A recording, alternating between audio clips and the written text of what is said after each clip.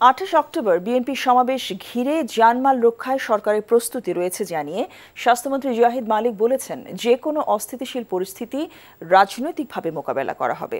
দুপুরে ঝিনাইদহে কোটচাঁদপুর উপজেলা স্বাস্থ্য কমপ্লেক্সে নবনির্মিত ভবনের উদ্বোধন শেষে তিনি কথা বলেন। মন্ত্রী বলেন, বিএনপিকে নির্বাচনে আসার জন্য বারবার আহ্বান জানানো হয়েছে।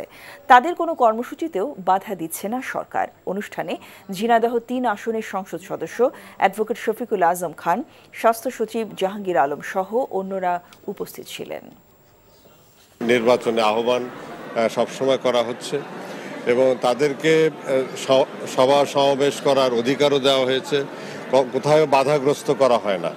আমরা রাজনৈতিকভাবে আমরা মোকাবেলা করব।